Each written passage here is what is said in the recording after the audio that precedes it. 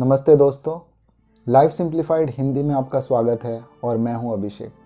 तो आज हम बात करने वाले हैं एक ऐसे किताब की, जिसने मेरे जीवन पे और कई अन्य लोगों के जीवन पे बहुत प्रभाव डाला है। और प्रभाव भी ऐसा डाला है, जिसकी वजह से जीवन की दिशा भी कुछ हद तक बदल गई है। वो किताब है ऑटोबायोग्राफी ऑफ़ अ योगी एक योगी की आत्मकथा। तो ये आत्मकथा है परमहंस योगानंद की। परमहंस योगानंद भारत के एक ऐसे योगी जो महाअवतार बाबा जी के वंशावली में आते हैं। इस किताब में योगानंद की पूरी कहानी उन्होंने खुद लिखी है और अपने जीवन की सारी घटनाक्रमों को उन्होंने इस किताब में व्यक्त किया है।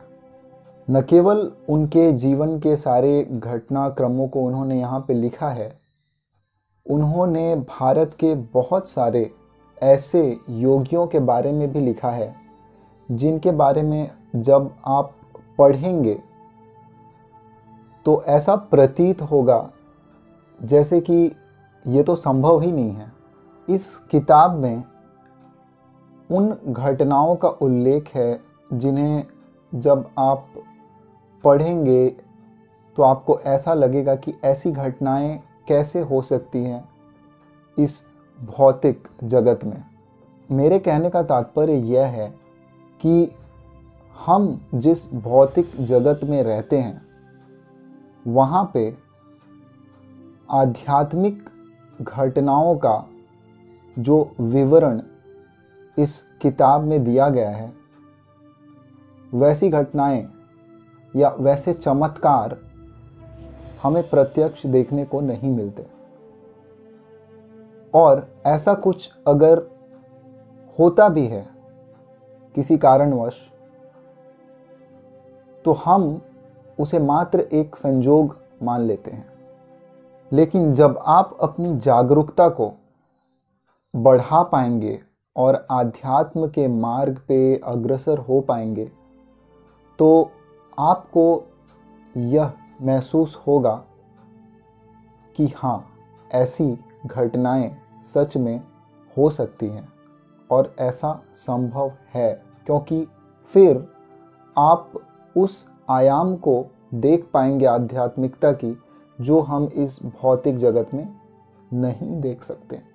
एक साधारण व्यक्ति अपनी इन साधारण आँखों से उन असाधारण घटनाओं को न महसूस कर सकता है और न ही देख सकता है। इसके लिए हमें जागरूक रहना पड़ेगा, हमें आध्यात्मिकता को स्पष्ट रूप से समझना पड़ेगा और हमें ये भी समझना पड़ेगा कि आध्यात्मिक नियम काम कैसे करते हैं। एक योगी का जीवन कैसा होता है और कैसे एक व्यक्ति एक साधारण व्यक्ति से असाधारण व्यक्ति बन जाता है।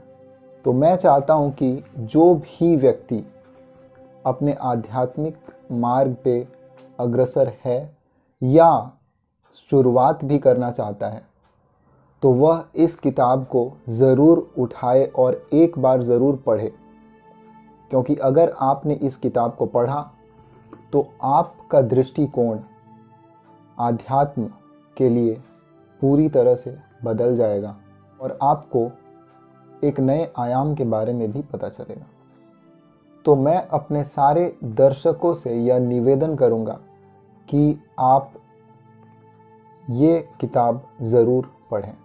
तो दोस्तों, मेरे पास जो कॉपी है इस किताब की, वो अंग्रेज़ी में है। आप चाहे तो इस किताब को हिंदी में भी ख़रीद सकते हैं और हिंदी में भी इसकी कॉपीज़ उपलब्ध है। अगर आप यह किताब पढ़ने के लिए इच्छुक हैं तो आप ज़रूर जाएँ और हिंदी में इसे ख़रीदें और पढ़ें। मैं इसकी लिंक डिस्क्रिप्शन में डाल दूँगा, हिंदी कॉपी की। दोस्तों, अगर आपको यह वीडियो पसंद आए तो प्लीज़ लाइक करें सब्सक्राइब करें और अपने फ्रेंड्स और फैमिली के साथ ज़रूर शेयर करें। तो मिलते हैं अगले वीडियो में। नमस्ते।